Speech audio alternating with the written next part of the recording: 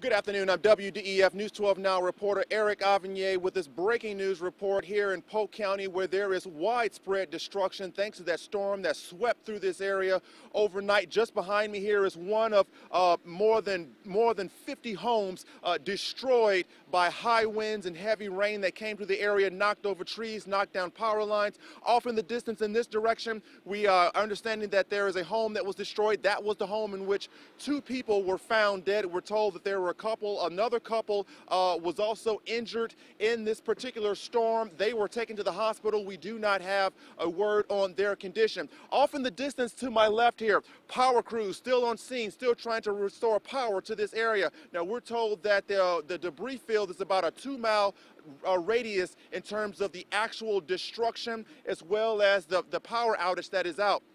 Off in the distance in this direction here, you can't see it, but it is what used to be the post office here in Ocoee. It has been destroyed. Just behind that is a fire station, a $100,000 fire station. From what we understand, is fairly new.